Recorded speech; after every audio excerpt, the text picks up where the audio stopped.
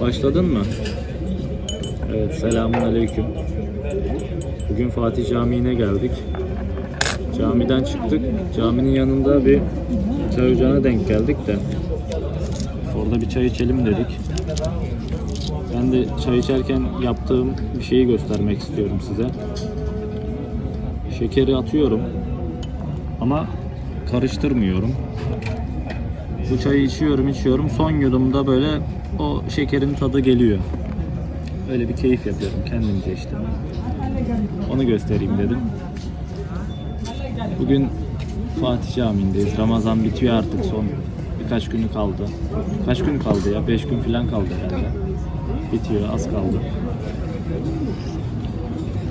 Bayramda görüşürüz inşallah. Bayram. Herkese şimdiden hayırlı bayramlar.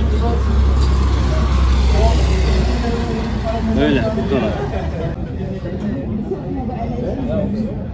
Açtın mı tekrar? Tamam, Evet. şimdi veda edelim. Böyle pat diye kapatmak olmaz. Arkadaşlar selamünaleyküm. Kendinize iyi bakın. Dua edin inşallah. Duanızı eksik etmeyin. Herkese Allah'a emanet olsun. Görüşürüz.